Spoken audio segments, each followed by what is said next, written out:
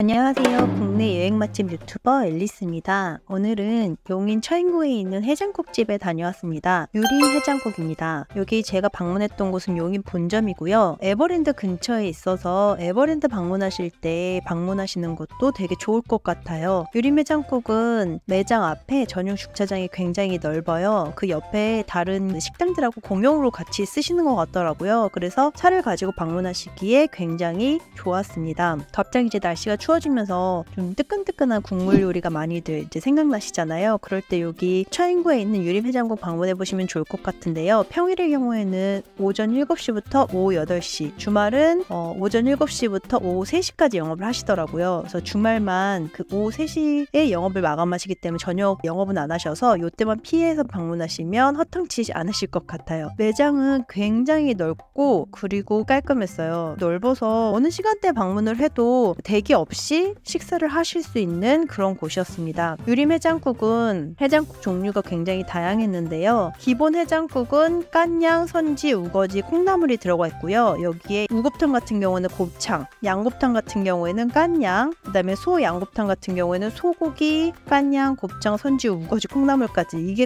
좀 제일 안에 다양한 종류의 재료가 들어가는 해장국의 종합 선물 세트 같은 느낌? 그래서 좀 다양하게 이것저것 다 드시고 싶으 싶으시다, 좀 푸짐하게 내용물을 드시고 싶으신 분들은 소 양곱탕 주문하시면 좋을 것 같고요. 혹시 간양이나 곱창 같은 내장류를 못 드시는 분들을 위해서 내장류는 전혀 들어가지 않은 소고기와 우거지 콩나물만 들어간 소고기 해장국도 있어요. 그래서 못 드시는 분들은 요거 드시면 좋고 좀 깔끔한 걸 원하시면 해장국 그 다음에 아까 말씀드렸다시피 좀 다양하게 푸짐하게 드시고 싶으실 때는 소 양곱탕 드시면 좋을 것 같고요. 특은 모든 메뉴에 3,000원 추가하시면 되는데 제가 생각하기엔 보통 특이 뚝배기가 살짝 크고 안에 내용물이 더 많이 들어가더라고요. 그래서 더 푸짐하게 드시고 싶으신 분들은 요 특 추가하시면 좋을 것 같고요. 또 전골류가 하나 곱창 전골로 판매를 하고 있어서 중사이즈, 대사이즈 판매하고 있습니다. 특별하게 해장국집에서 콩국수를 판매를 하더라고요. 근데 이제 이건 여름 메뉴라서 제가 방문했을 시기에는 주문을 할 수가 없었어요. 여기 소고기나 곱창, 야채, 버섯 이런 것들은 아마 곱창 전골에 추가하는 그런 추가 메뉴가 아닌가 싶어요. 만약에 1인 1식씩 주문을 하시는 경우에는 그 선지와 육수를 무료로 추가를 하실 수 있더라고요. 이런 게 또 굉장히 매력 있었어요. 아 그리고 아마 이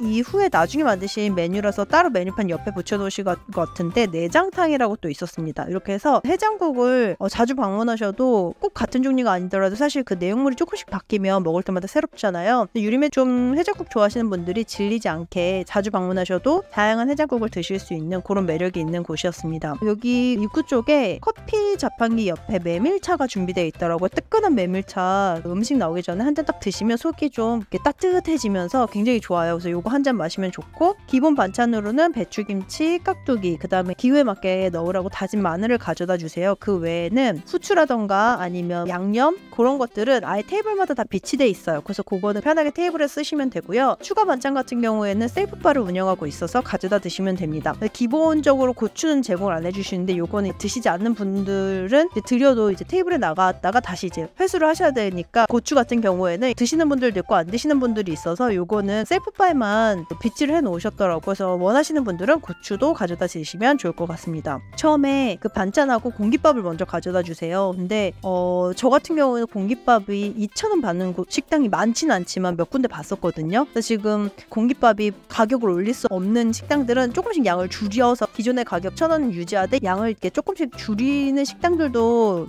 간혹 이제 봤는데 있는데 유리매장국 같은 경우에는 공깃밥이 가득 담겨져 있어요. 딱 들었을 때부터 무게가 달랐는데 이거는 공깃밥에 다른 집에 한 30%양 정도가 더 있더라고요. 그래서 든든하게 드실 수 있고 아까 같은 경우에 그 1인 1식씩 주문을 하시면 선지나 국물도 리필이 가능하기 때문에 양이 많으신 분들도 해장국 하나만 주문하셔도 굉장히 든든하게 드실 수 있는 곳, 곳이었습니다. 기본 해장국은 뭐 깐양하고 우거지 콩나물 들어가서 깔끔한 느낌이었고요. 그 다음에 양곱탕 주 주문을 해봤는데 양곱탕에 이제 곱창이 들어가서 어, 곱창 좋아하시는 분들은 드시면 좋을 것 같은데 뭐 깐양은 쫄깃하고 선지는 어, 잘못 익으면 사실 이게 좀 푸석푸석한데 여기는 그런 거 없이 좀 부드러운 느낌? 약간 탱글탱글한 느낌이 있었고요. 곱창 안에 곱이 가득 차 있어서 좋았어요. 그리고 우거지 콩나물 듬뿍 들어가 있고 또 정말 좋았던 거는 다른 집들은 이 해장국에 당면을 살짝 맛보기로 넣어주시는데 유림해장국은 당면을 정말 푸짐하게 넣어주세요. 모든 해장국에 다 당면을 넣어주시는데 당 당면이 또 듬뿍 들어가서 좋았고요. 소고기 해장국을 주문을 해줬는데 고기를 푸짐하게 넣어주시더라고요. 그래서 먹어도 먹어도 고기가 계속 보이는 굉장히 이제 실한 그런 소고기 해장국을 먹을 수 있었고 국물은 제가 봤을 때는 약간 신라면보다 조금 매운 느낌? 그런데 그렇게 막 과하거나 너무 자극적인 맛은 아니에요. 그냥 얼큰하고 시원한 맛. 처음에는 부속물이 워낙 많이 들어가 있어요. 내용물이. 그래서 거기 소스 만드는 방법이 이제 추천 방법이 있거든요. 고추거름이랑 간장, 고추기름 뭐 이렇게 해가지고 넣어서 거기에 깐냥이라던가 아니면 곱창이나 선지 같은 걸 찍어 드시고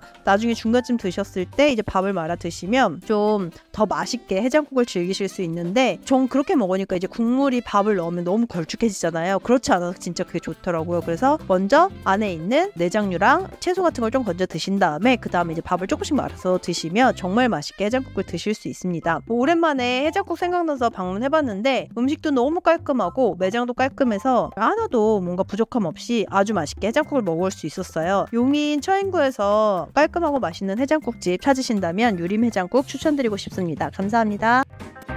오늘은 수원에 있는 추어탕 전문점에 다녀왔어요. 송담 추어탕 본점입니다. 올라가서 보니까 그 복층으로 되어 있더라고요. 워낙에 매장이 넓고 손님이 많아서 1층은 전용 주차장으로 사용을 하시고 이게 좀 회전율이 높아서 그런지 크게 대기는 없었어요. 테이블에 앉을 수 있어서 그런 부분이 굉장히 좋았어요. 만약에 누룽지까지 드시고 싶으신 분들은 요 솥밥 추가하시면 좋을 것 같고 아무래도 기본적으로 제가 봤을 때 제일 많이 드시는 거는 그 송담 추어탕이었고 코다리 강정을 주문을 해봤어요. 코 다리 강정은 어, 비주얼이나 맛이나 양념 어, 닭강정이랑 좀 비슷한데 에 걸맞는 굉장히 큰 정말 왕돈가스였어요. 마지막으로 추어탕이 나왔는데 기본 송담 추어탕은 좀 구수한 맛이 강했고 수제비 추어탕은 저는 똑같 구독은 무료입니다. 꼭 눌러주세요.